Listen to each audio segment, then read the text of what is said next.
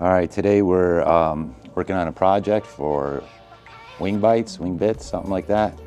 Um, basically what it does is it's tracking airplanes in the air. Um, I bought a hexagon here north in North Dallas and um, we're gonna go ahead and deploy the uh, antenna today.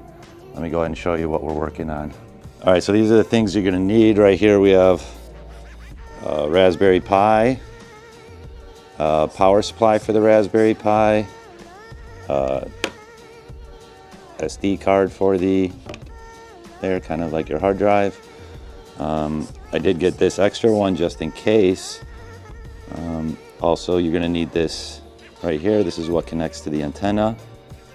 This connects from your USB on the Pi to the antenna. Um, I got a little USB dongle just in case. Um, an Ethernet cable. If you have power over Ethernet, I think that might work. And then we have this is supposed to clean the signal in that. Today we're not going to be installing this. Uh, I don't have the cable for it. This is the cable that comes with the antenna. I think it's uh, 30 feet. And here's the antenna. It's kind of big. So yeah, that's the antenna. And now we're going to be uh, heading up to the roof to uh, get this antenna installed on, we have a current setup for Helium, uh, the 5G CBRS antennas up there. So what I'm going to do is uh, move the Helium HNT miner down a little bit and put this on top. I'm not going to be messing with any of the CBRS cells because they've already been set and approved and everything. So uh, we're heading up there now.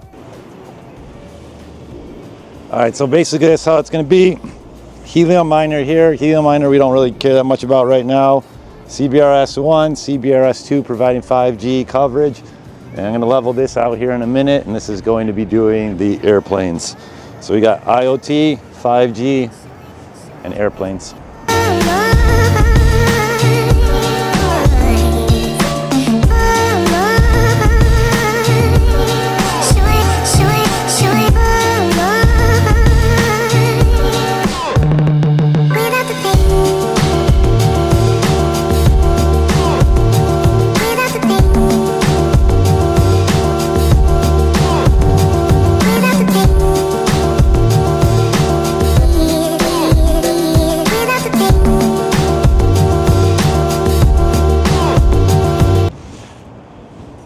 Right, so we got it installed. We got the airplane antenna here, 5G cell, 5G cell, the CBRS antennas for the mobile helium project.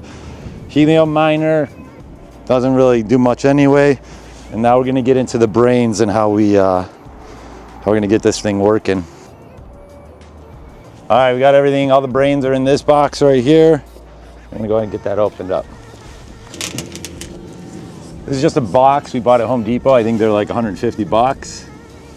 And inside there's all our brains. So what we're gonna do is just get this guy connected in here. And that's it. Let's take a look inside there.